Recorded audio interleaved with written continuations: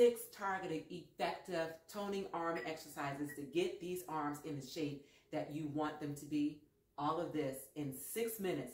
And if you are feeling motivated, which I hope you are today, then stay tuned for round two, you guys.